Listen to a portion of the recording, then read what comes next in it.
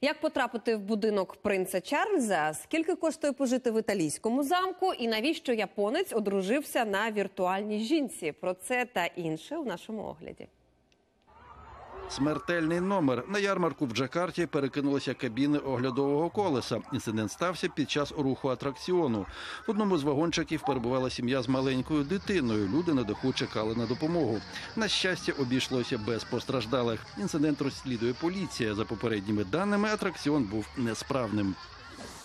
У Великій Британії засудили сімейну пару, яка назвала сина на честь Адольфа Гітлера. Подружжя належало до забороненої ультраправої групи Національна дія. Підсудні обмінювалися повідомленнями з прославленням німецького диктатора і поширювали свої фото з нацистськими салютами в костюмах Куклукс-клану. У грудні подружжю винесуть вирок.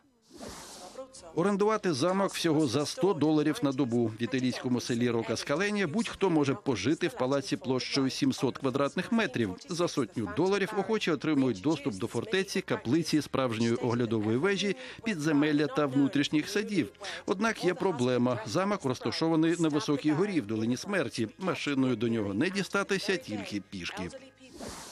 Ідеальна дружина віртуальна. Японець оженився на цифровій співачці. 35-річний шкільний адміністратор Акіхіко Кондо з Токіо влаштував весільну церемонію вартістю понад 15 тисяч доларів.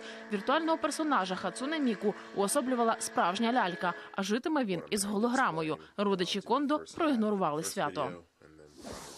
У гості до принца з нагоди свого 70-річчя британський принц Чарльз відкрив віртуальний тур своїм будинком.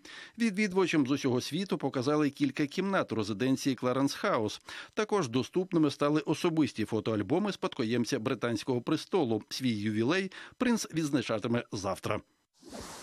Народилися в сорочці у бразильському місті Параїба Дусул Літня пара дивом уникла смерті під час прогулянки. Чоловіка з дружиною знесло гаражними дверима, які раптово протаранив автомобіль. Обоє ризикували загинути під колесами машини, але відбулися незначними травмами.